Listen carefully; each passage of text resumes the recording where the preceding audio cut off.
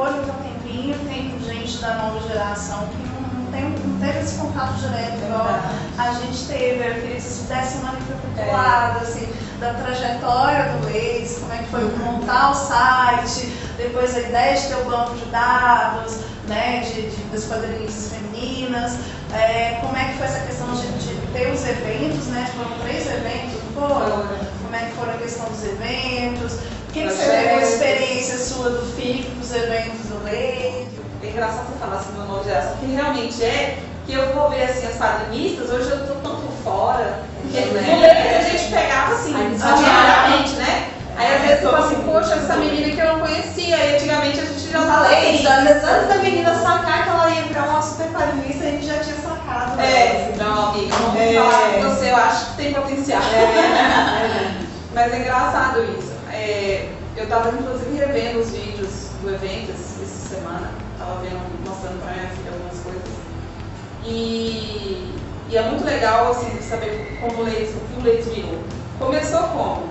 Vamos falar de mulheres fazem quadrinho? Vamos falar de mulheres fazem quadrinho. Vamos ler um quadrinho que uma mulher fez. Vamos escrever o que a gente achou. Simplesmente. E disso foi passando para é, tipo, críticas mais, maiores, vídeos, documentários. É, foi sentindo uma necessidade. É engraçado que eu acho que o Leis e a história das mulheres dos quadrinhos, acho que aqui em BH, porque é onde a gente estava atuando, acho que foi caminhando junto posso dizer assim. Então, à medida que essa história foi se aprofundando, o Leite também foi se aprofundando. Então, é, a gente começou despretensiosa, assim, a primeira informação é a Ama, é, a Luca Page e a Samanta. A Lu começou a trabalhar muito com os padrinhos, teve que sair, né, por conta de trabalho. Eu acabei entrando, aí com essa visão do jornalismo mesmo, né, a crítica jornalística. E aí, antes da delícia que ela falou, tem um quadrinho de mulher, gostei. E a gente acabava lendo essencialmente quadrinhos só de mulheres. Porque, por vários motivos, né? Principalmente por causa do Leis. E aí, à medida que isso foi acontecendo, acho que o Leis foi precisando de mais, a gente precisava falar mais. Igual acontecia FIC. E a gente estava sempre encontrando as meninas pós-FIC no bar para poder falar no evento. Uhum. E isso foi crescendo, aí foi quando a gente teve a ideia de fazer um, realmente um evento. Então, peraí, a gente está falando de todas essas mulheres aqui, a gente fazer um evento sobre isso. E a gente fez o primeiro evento da América Latina sobre mulheres quadrinhos. Essa questão da gente falando sobre mulheres, a gente vai entendendo a raiz de alguns problemas. Poxa, por que, que mulher não, não lê tanto quadrinho? É porque ela não, ela não tem tanto acesso? Ela não tem acesso por quê? A escola não está auxiliando nesse tipo de leitura? Essa, a escola não está sendo esse tipo de leitura por quê? Porque o professor que não está interessado, não sabe como usar. Então, assim, e a criança, ela não está interessada por quê? Porque ela não tem realmente uma aula sobre o que é família. Então, a gente foi tentando fazer essa, essa desconstrução, né, que era esse problema, e aí a gente, poxa, então vamos, a gente fez projeto Pati, que é a aula para professor de criança, em áreas é, longe do centro de BH, fizemos na Bahia, fizemos um evento além daqui, fizemos um evento é, é, encontro latino-americano, ou seja, a gente trouxe mulheres que fazem quadrinhos que estão aqui do lado, que é Chile, né, Colômbia, então, tipo assim, mulheres que estão. A gente não conversa muito também, né, América Latina, assim, no Brasil, não sei pelas barreiras linguísticas, mas tem artistas muito fodas aqui do lado que a gente também não fala. Nós falamos das protagonistas. Das protagonistas que começaram, é. E também depois São, São Paulo, fizemos um evento lá na Quanto também. Essa questão de fazer esse resgate histórico das mulheres no quadrinho brasileiro. A gente fez a lista sobre que a gente incluiu isso, aí a gente viu que era tão importante que nós fizemos um encontro para lançar a lista que nós chamamos. Então nós fizemos esse mini evento com a ciência aqui em Belo Horizonte, nós trouxemos ela. E depois no nosso último evento, que foi lá em São Paulo, nós também, aí nós levamos a Crau, a Cissa e Dá só uma palhinha quem é a Crau, quem é a Cissa, o pessoal da nova geração. A Cissa publicava na Folha de São Paulo durante 20 anos um tirinha sobre, chamado Pato, que era uma tirinha política. Né? De Crau também publicou. Ela também publicou nessa época, participou do Pasquinho. Então, são mulheres que atuavam assim, bem antes. Só que essa questão, eu acho que o que funcionava muito pra gente, porque a gente tem um pouco do jornalismo. Aí o jornalismo entra como, como uma ajuda. Assim. Eu ia todos os dias no início do leites para a biblioteca. Uhum. Caçar mesmo, mão. Armário fechado, que eram as publicações antigas, a Simone, o Samuel, lá abria para mim para eu poder caçar. Então eu achava muita coisa que mulheres faziam, mas que não eram, não levavam nome. Aqui um negócio que eu achei muito legal, eu esqueci, deu branco o nome dela agora, que é uma, uma, uma roteirista que vocês entrevistaram na risca que escrevia histórias de terror.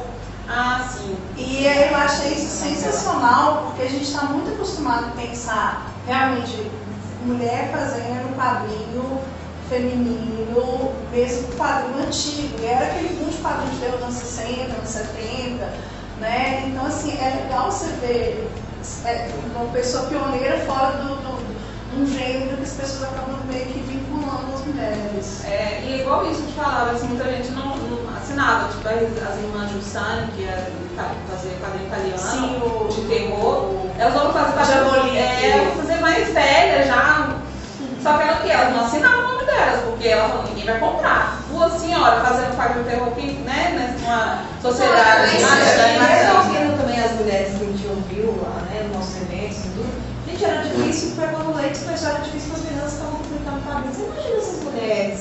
É, Cissa mesmo falando da experiência de publicar no jornal, como isso era, que era visto.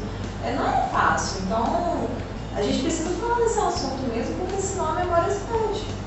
Né? E assim, eu sinto muito, às vezes, pela essa, dado continuidade à por exemplo, né, que é uma, uma revista legal, dá pra gente né, abordar esses assuntos, porque a gente não, não vê interesse de mais ninguém fazer isso, Uhum. sabe? Isso é, é um pouco chato, assim. Só que é, é um trabalho, né? Um trabalho que precisa ser remunerado, imagina, gastava todo dia ônibus para ir para biblioteca, lanche, papapá. Então, assim, a gente precisa trabalhar, a precisa dessas coisas. E, infelizmente, tivesse mais interesse, assim, das pessoas que estão dentro da área, porque, inclusive, assim, a gente fazia isso, mas a gente não é quadrinista, né? É, Então, assim, falta muito interesse da galera da área de fazer, sabe? Assim, Eu depois que, que o Ledes acabou, você vê que eu não, não teve nenhum trabalho que fez esse tanto de coisa que o Ledes fez. Não. Porque, gente, é loucura.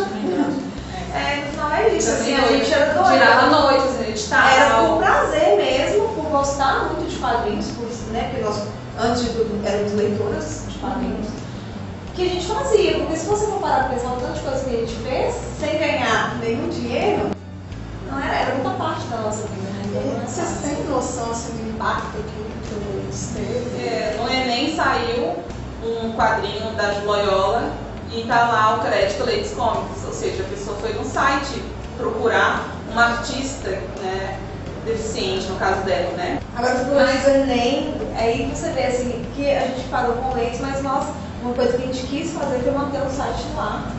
Porque ele é uma fonte de pesquisa, né? Ele é uma fonte de pesquisa. Então, quando você fala do impacto, não sei a esse ponto, mas realmente assim, Todos muitas os mulheres que faziam TCC, muita gente que estava pesquisando coisas usando leis, né? E tem muita quadrinista que eu acho que E o Leis, assim, né? Eu sou cria do Leis também, né? É, aí o impacto. Ai, que impacto Pois é, e assim, foi super importante porque, por exemplo, eu cheguei aqui e eu não conhecia nada, né? Assim, ilustração, quadrinhos, estava apoiando realmente, não era uma coisa que a gente tinha contato. E aí, quando eu cheguei, tava, tinha acabado de encerrar a campanha Catarse, e aí ia acontecer, e eu participei do, do evento, foi tipo, super importante naquele momento, porque foi que meio que abriu um leque assim, de possibilidades de atuação. Assim. Você vê que já tem outras minas fazendo, aquilo te inspira mesmo a fazer. Assim. Eu acho que o Leite mais fundamental, além de, dele ter se tornado uma referência, foi de ter inspirado muita gente a produzir também mesmo. Assim. Porque a gente acabou conhecendo, por exemplo, eu não conhecia o mercado gráfico, a partir do Leis eu vi tipo, as meninas na feira, foi surgindo ideias mesmo, e depois a gente acaba se conectando, né? Acabou tendo essa conexão entre mulheres, que é uma coisa assim, que eu acho que leva os cenários além. É o Leite tinha uma preocupação com os eventos, que eu acho que falar isso, até depois os outros eventos maiores acabaram fazendo, né, o FIC e tal. Mas a gente já tinha, como já era, o público já era mulher. A gente já, né, pessoa que trabalhava com os quadrinhos já era só mulheres convidadas.